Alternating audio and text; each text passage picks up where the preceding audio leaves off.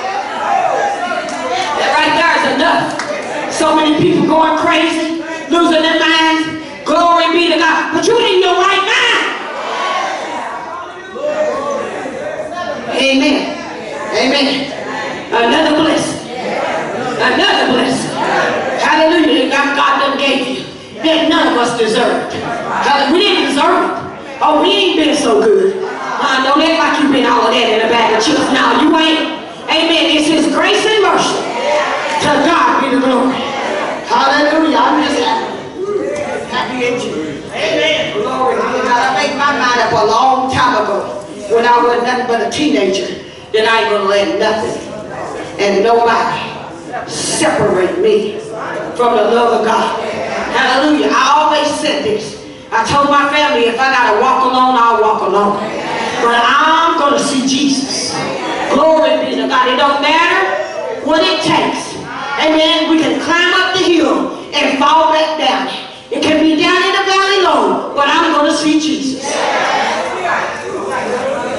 Hallelujah. Well, I was seeing for myself. I ain't nobody gonna have to tell me about it. You hear that? I'm gonna see it for myself. Mother and father gone on.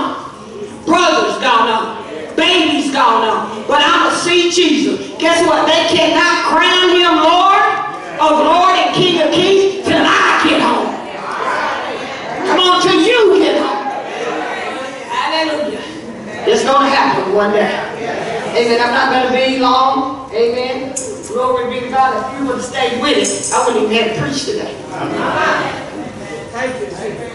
Amen. If you would have just stayed with it, I wouldn't even have to preach.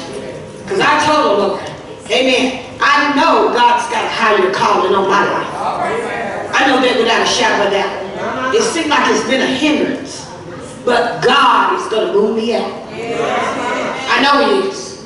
I know He is. And I told the Lord, I said, I'm ready. I'm ready to do whatever it is that you call me to do. I don't care if it's out on the street corner.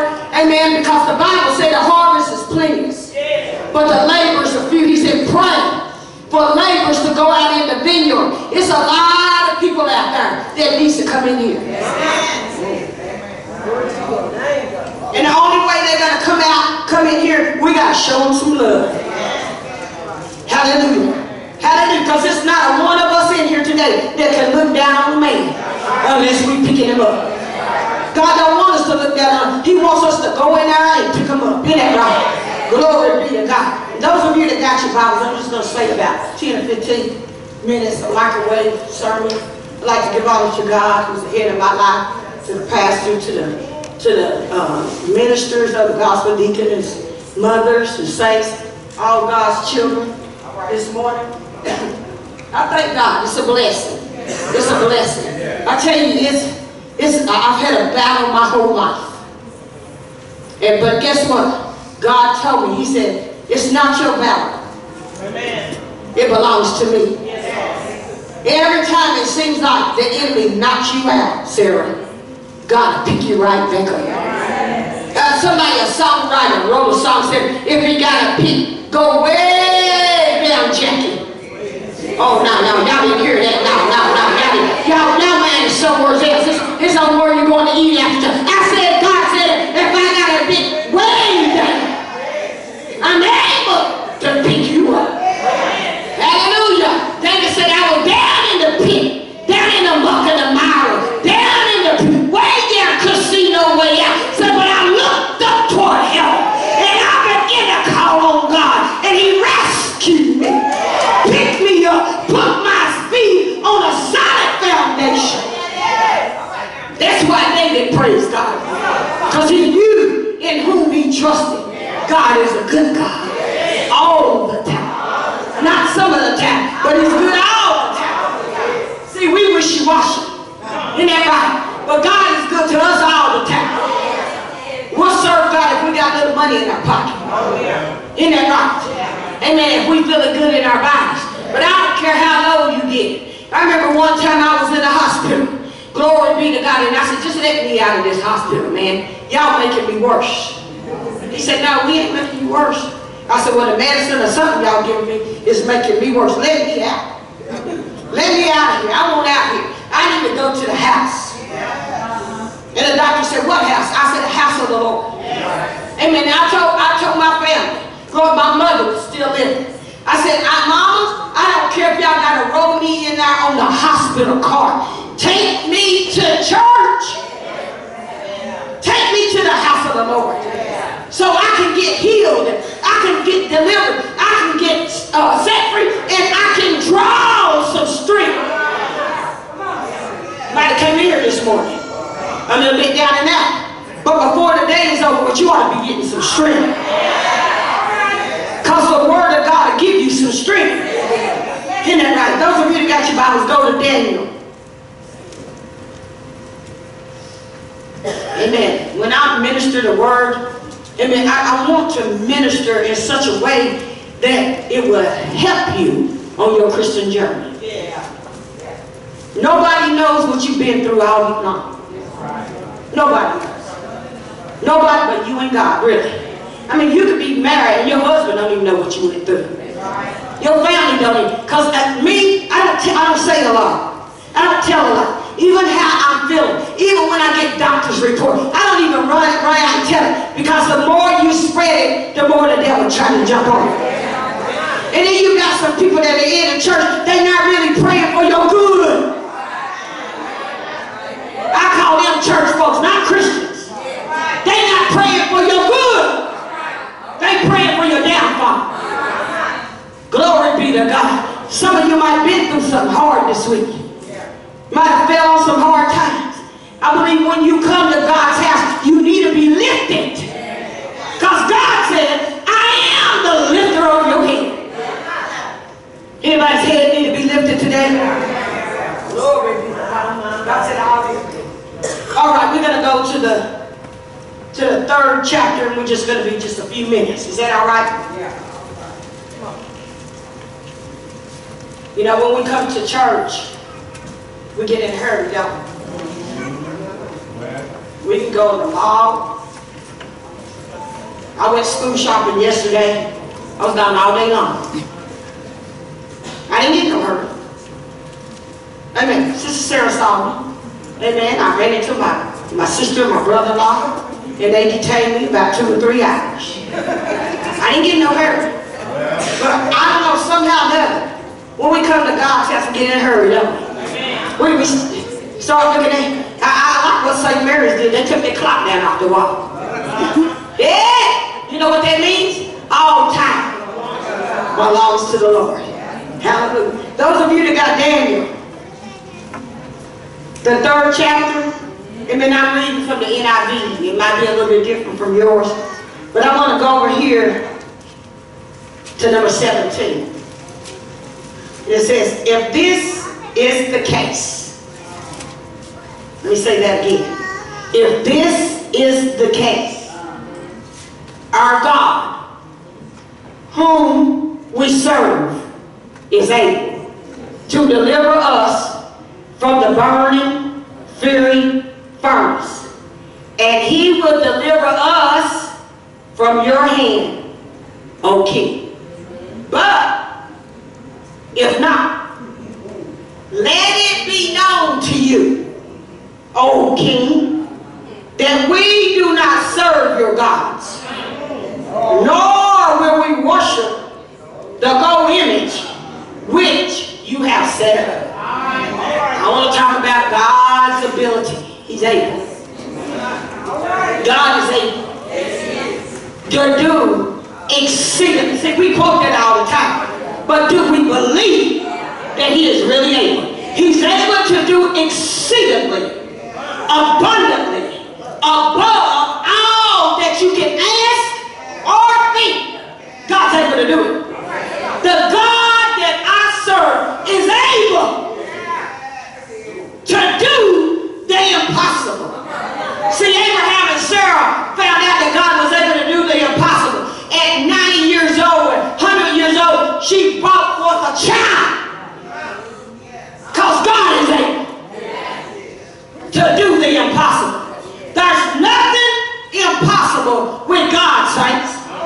You might looking at, be looking at a, situation that you feel like it's impossible. It's no hope. But I'm telling you, if you put your trust in Jesus, hallelujah, I don't care. Saints don't give the enemy no credit. God can do anything. Put your trust in God. Don't look at the situation. Just put your trust in God and God will see you through. I'm telling you, some of you going through sickness. Ain't nobody been no sicker than me. I want you to hear this. See, when, when you done done that, you can talk about it. A testimony is something that you done been tested with, and God brought you through. And now I'm living today to tell you the story that God is able to heal your body. He's even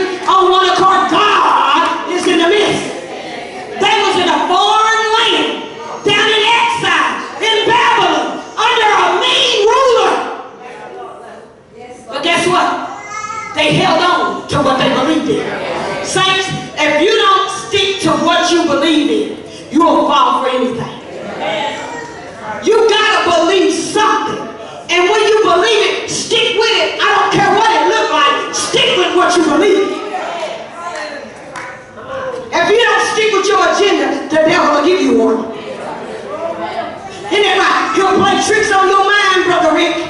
Amen. The mind is the battleground. Your mind is not safe. It's enemy against God. Your mind is not safe, saints. And when the devil brings you evil thoughts, the Bible said, cast it down and put it under your feet. You sitting around the devil playing with your mind, he'll put thoughts in your mind. He'll make you think you're a duck. You'll be quacking, quacking. Glory be to He'll make you think you're a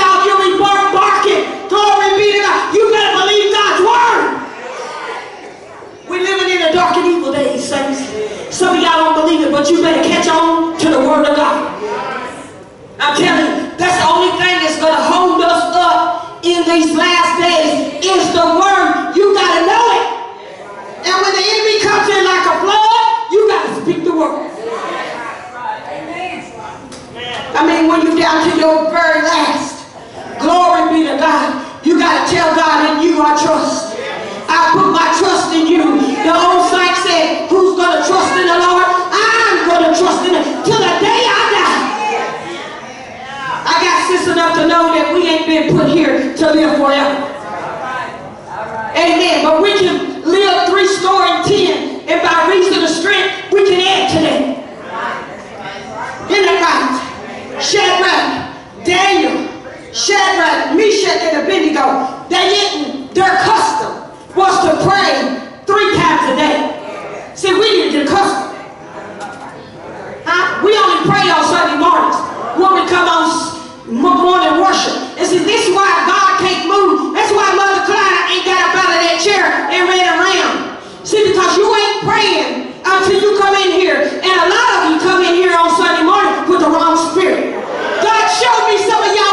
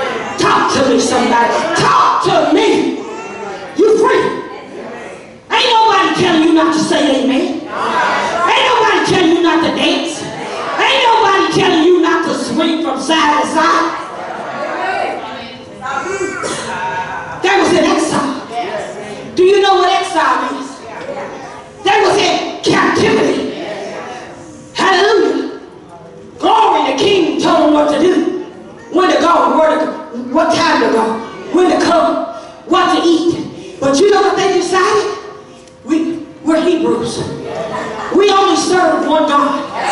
Hallelujah. The God of Israel. That's the only God we're going to bow down to. That's the only God that we're going to worship. And they did not break their custom. No matter how hard the pressure was on them, when it come time to pray, they got on the knees. Oh, you didn't hear what I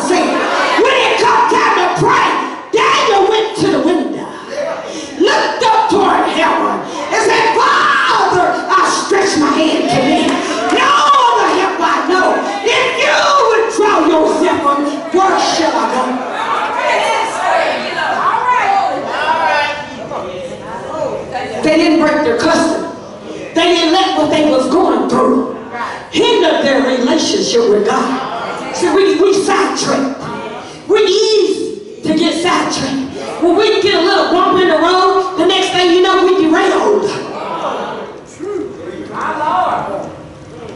If you fall off the track with Jesus, saints, where you going to go to? Huh? The apostle said, only you have the words to eternal life. If you leave Jesus, where are you going to go?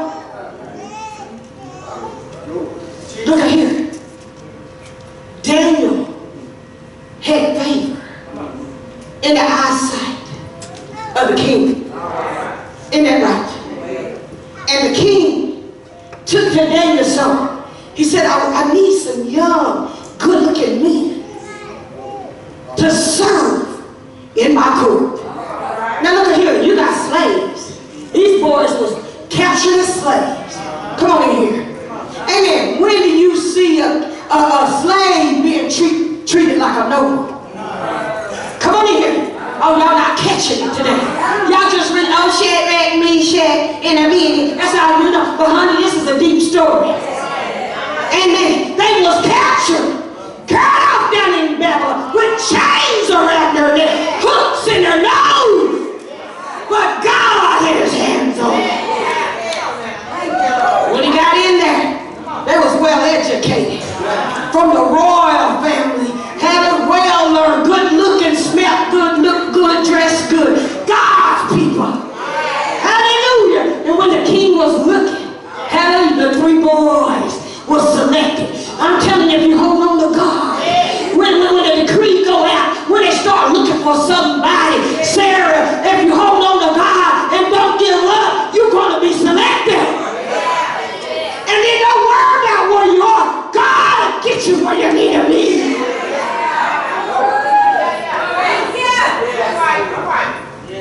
Some of you say, I don't qualify for the job. Hallelujah. If you're the king's kids, he'll get you qualified. Isn't that right? He's able to get you qualified. So, hallelujah. When you're in self-doubt, God can move you up the ladder. How do you get promotion? How do you get promotion? How do you get promotion? When you're down and out, down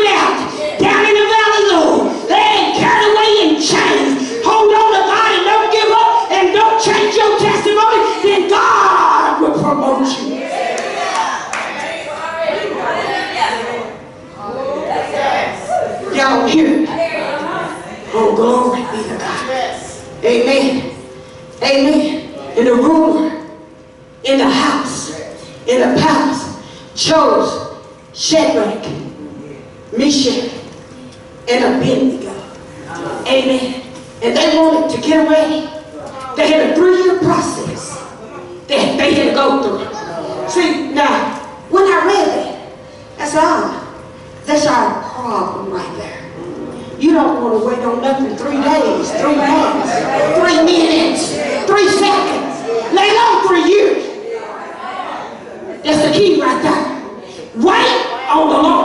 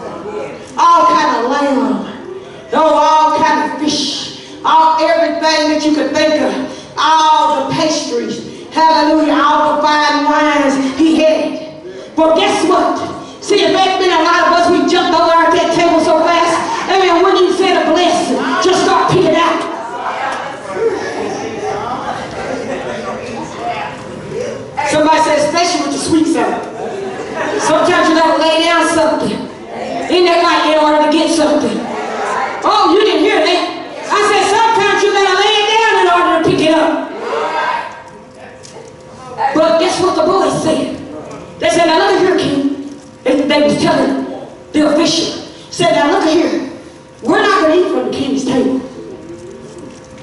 Thanks for no thanks. Learn how to say that. We're not going to eat from you. But if you would just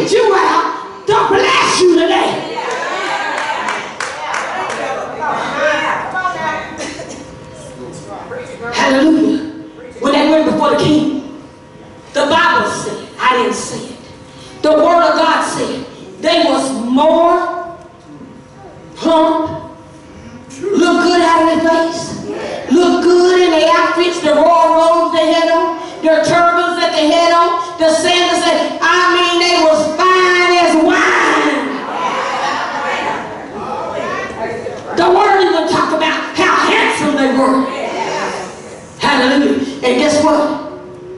The king picked them. But just because they was in the court, they didn't stop serving God. Amen. So the king decreed that he was going to make a golden image. And everybody, everything, the God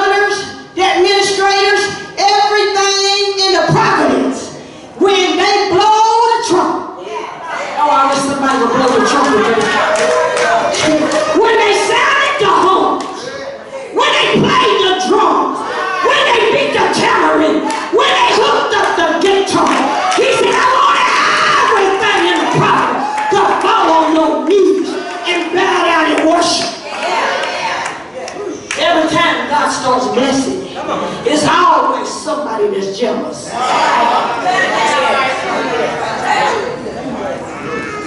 When God blesses you for yourself, you can't enjoy what God gives you for everybody else won't. Huh? Say amen real loud. Glory be to God. Amen. And thou wast some Chaldeans. Uh-huh. Child Chaldeans. Uh-huh. Demons. Devils. That was watching. The boys. When they blew the trumpet. Everybody but Daniel, Shadrach, and Meshach and Abednego bow down. Listen, we're not going to do it. I don't, I don't care if our lives is on the line. Saints, you got to get in God so deep, so close, that nobody and nothing can stir you from God. You know what? A lot of people that's in God, you can give them a little piece of change and they'll turn their back on God. But you got to get rooted and grounded. Oh, come on, come on. For the love of money is the root of it. God knows that you need it to pay your bill, but the love of it is when you will turn your back on. And many Christians are doing that today.